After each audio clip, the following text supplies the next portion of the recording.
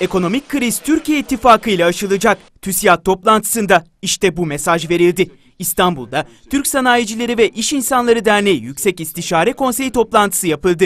Açılış konuşması için Konsey Başkanı Tuncay Özilhan kürsüye çıktı. Sorunlarımızı kutuplaşmayı bitirerek aşarız dedi.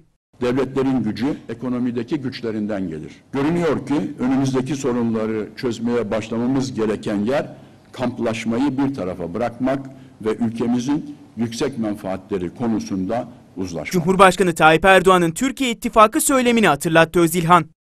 Sayın Cumhurbaşkanımızın seçimlerden sonra Türkiye İttifakı çağrısı yapmasının toplumsal uzlaşı açısından önemli olduğunu düşünüyoruz. El birliğiyle ekonomiyi güçlendireceğiz ifadelerini kullandı. Tuncay Özilhan, kamplaşmanın bir kenara bırakılması gerektiğini söyledi.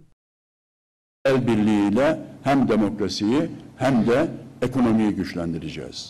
Toplantıda TÜSİAD Yönetim Kurulu Başkanı Simone Kastowski de konuştu.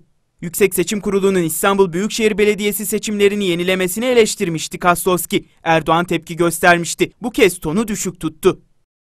Temenni ediyoruz ki 23 Haziran itibariyle hep birlikte reform gündemine odaklanırız. Önümüzde seçimsiz geçecek olan 4 sene belirttiğim yapısal reformların hayata geçirilmesi için çok büyük bir fırsat.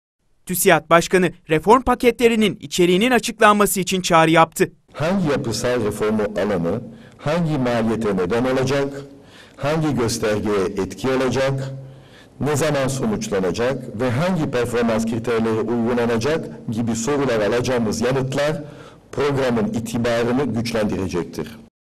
Toplantıda dünya ekonomisi de gündeme geldi. Güç dengesinin batıdan doğuya kaydığı vurgulandı.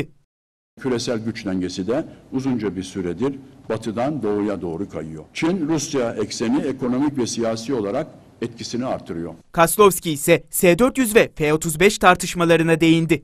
F-35 5. nesil savaş uçakları ve S-400 hava savunma sistemi etrafında yaşadığımız sorunlar eninde sonunda diplomasiyle çözülecektir. An itibariyle bu konular ekonomimize giderek artan bir oranda olumsuz yansıyor. Bu riskleri ekonomik reformları hemen gündeme alarak en aza indirebiliriz.